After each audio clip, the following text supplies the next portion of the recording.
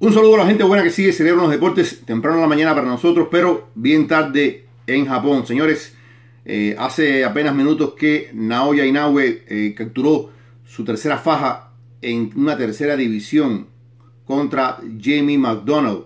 Eh, tuvimos la oportunidad de ver esta pelea impresionante, una pelea que prometía algo más y como este boxeador japonés, este monstruo como le dicen, demuele a un campeón del mundo, un hombre que había hecho ya varias defensas de su faja eh, en las 118 libras, con qué facilidad Naoya Inoue destroza a Jamie McDonald. Tiene solamente 25 años, eh, es un boxeador que tiene un poder para su peso extremadamente eh, pavoroso.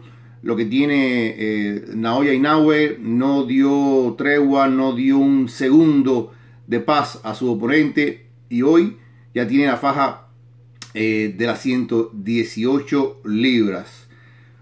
Esto es interesante, es interesante porque ustedes saben que hace poco yo les daba la noticia de que la Super Serie Mundial de Boxeo iba a incluir a las 118 libras dentro de su programa de competencia. Ustedes recordarán que el año pasado la Serie Mundial estuvo eh, en dos divisiones. Estuvo en la división crucero, donde estuvimos al cubano Dorticos, que por cierto hay tremendo arroz con mango eh, para esta pelea final contra Gossit y Murat Gassiet, porque si la lesión dicen que si es falsa, que si es verdadera, que si no quiere que sea en Moscú, que si quiere que sea en Arabia Saudita, hay tremendo arroz con mango con eso, pero eso es una noticia que vamos a seguir poco a poco.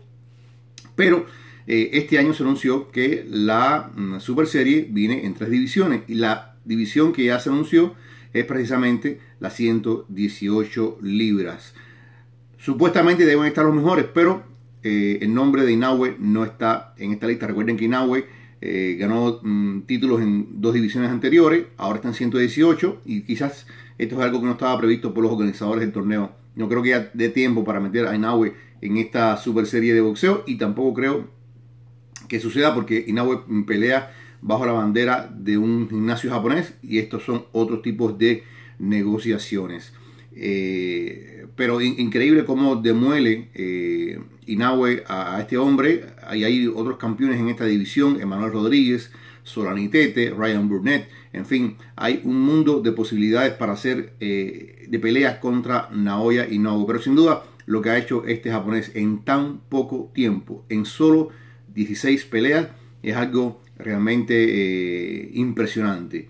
Hablando también de boxeo, se da la noticia de que Basil Lomachenko ya dejó su título en las 130 libras y va a hacer campaña, va a seguir combatiendo en las 135 libras.